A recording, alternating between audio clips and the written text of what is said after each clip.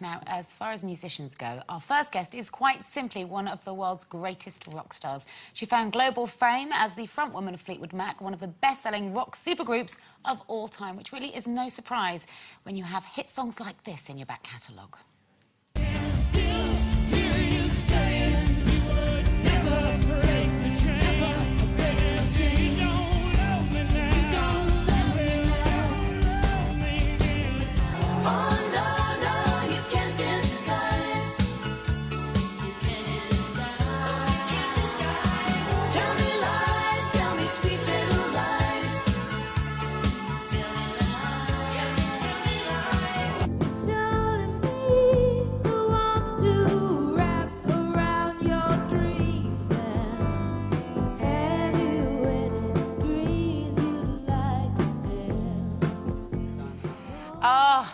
Ladies and gentlemen, she's here with us today, Stevie Nicks!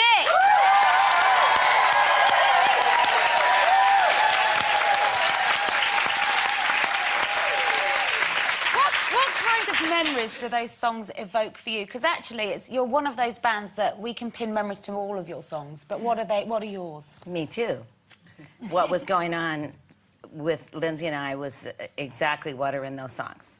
So they, when I see them, then my I go right back to what was happening at that time. Are they always happy? Happy times? Not always happy, but now I can look at them and see a lot more fun and happiness in them than I think I did when they were actually happening. Mm. You know, so now they're precious. At the time they were happening, they were just crazy. Well, yeah, you two were so turbulent, but it but it created great art, didn't it? So it was kind of like great a tragedy, no great pain, art. no gain. Yeah, yeah. Yeah. Lots does it pain, feel like it? Does, does it feel like it was yesterday to you when you look there? Are you straight back there? It, yeah. Oh, that's Absolutely. fantastic. Yeah, because you know when you see a photograph, then that that's great, but you can go back a little bit. But when you see it on film, you could, then that yeah. really creates yeah. it. Then you really are right back in, remembering kind of what you were wearing and remembering those earrings, and you know then then you really it brings it back. And yeah. what about now? What does it, how do you feel it's changed now? Do you, do you like it still? Like that business? Singing? I love it. Do you still? She goes singing.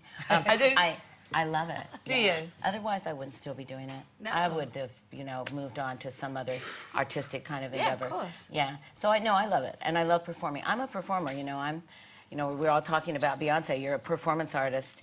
If you're a performance artist, you're going to have a lot of trouble giving it up because that's yeah. what you love to do since you were in the second grade. Yeah.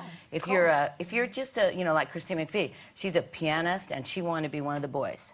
So she wanted to be over there on the side. She was not at all unhappy when Lindsey and I came into the group and came in as lead singers because she didn't want to be out there with a microphone. She didn't want to do that. She didn't mm. want to dance and she wanted to play and she wanted to be one of the guys and in a, in a good in a good way because she was the only girl that was the great musician that was one of the guys and that was as much respected as like the Eric Claptons, you know, and the Lindsey Buckinghams and the Mick Fleetwoods. She was one of them, mm. so she didn't want to be. She didn't want to be doing that. Well, you get the you're the focus of attention if you're in the front. Yeah, aren't you? how, didn't do want you, that. How do, you, how do you feel about that? Is that well, something I love it because again, I'm a performance artist also. Um, so if you love that, you know, when I was like in four years old, I had a grandfather who sang country music. And my dad, you'll love this, you'll love this, never mind, her. Um, we had a bar, we owned a bar that was right across the street because my dad started working for Canadian Labatt's and Lucky Lager Beer when I was like really three years old. And so my granddad used to, me, I used to stop there on the way home from school four, like at four, and he used to Not put for me up. beer. The, yes, you know. For you to have a beer. Well, for kindergarten, like you know. No, but I used to go into the bar before it opened, you know, and my granddad would sit me up on the table, and I'd be like tap dancing, and you know, and and and my dad would go like, oh. You were always going to do off. what you do. Yeah, always. pretty much. Well, last night, um, Hayley has emailed in. She was uh, she was in Hyde Park watching you with the uh, with the great Rod Stewart. She said, "How was it for you?" It was great. The only thing that wasn't great was the sun, the magnificent English sun that never showed itself for three weeks while I'd been here. That was just like this, and it was so bright that I was, you know, it was so disconcerting because it was so bright I couldn't see. Um, but the concert was fantastic. I just kept putting my hand in front of it, which you can cover the sun with your hand. Um, it was fantastic, and you don't, we don't play that monstrous of shows that often. We play 8 to 10,000, 10,000 to 15,000 people. That's way more than that. So that energy coming up off that energy is huge. And it's spectacular. I mean, there's no getting, you can't, You can't beat it, really. Mm-hmm. So it was fantastic. And really, I just wanted to come over here and play. So, you know, my record comes out tomorrow. Yes, we played record. yesterday. I mean, no, tomorrow, today. Yeah. The record comes out today.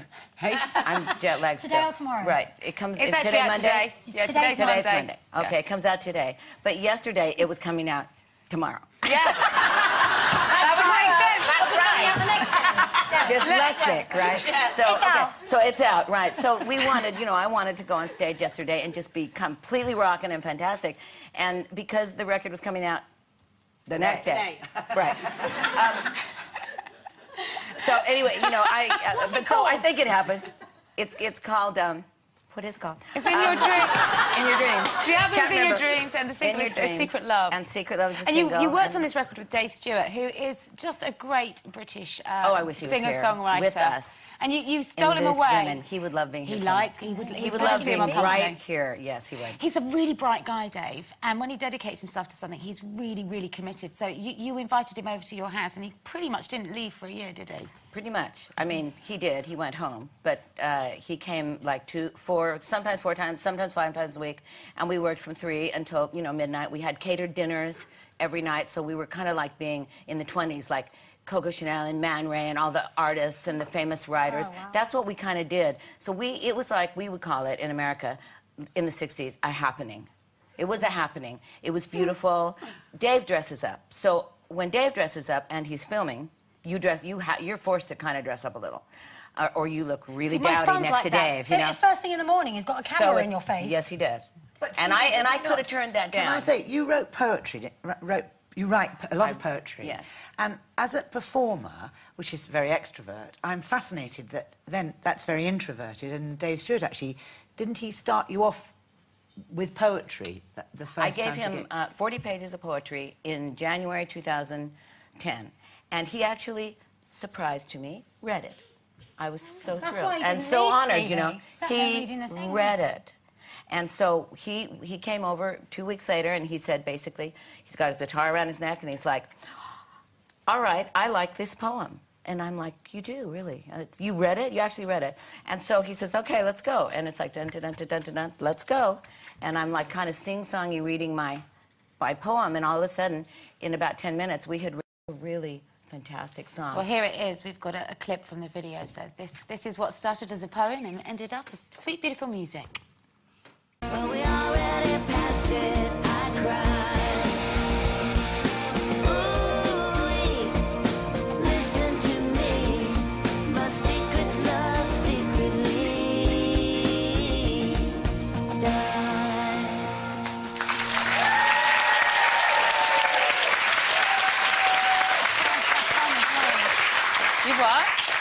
Stevie said she was twirling her own batons in that. Oh, weren't you? really?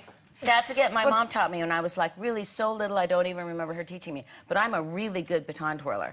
So, of course, Dave's like, well, could you, let's play, let's do some Any baton skills? twirling. Throw Yeah. 'em in.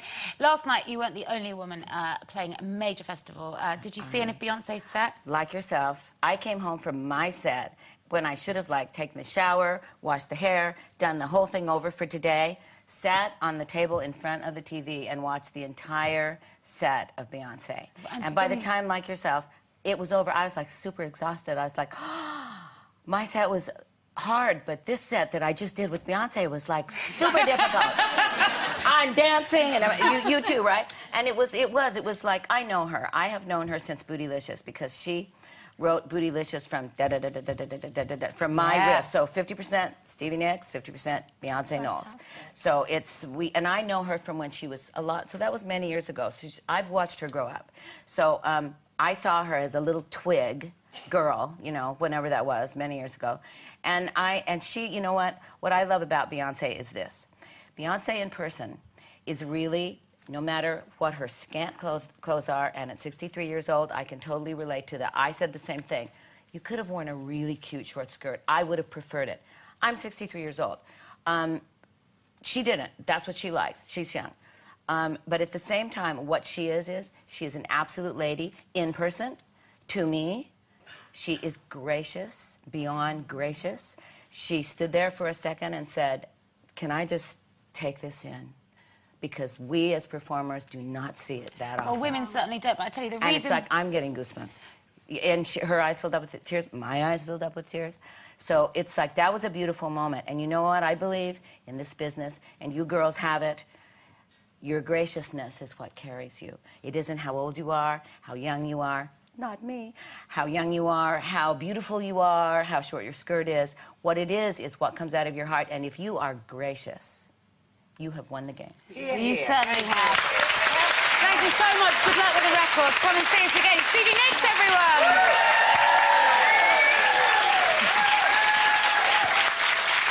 Okay, break time, but stay with us because David Schwimmer's on his way. We're back soon.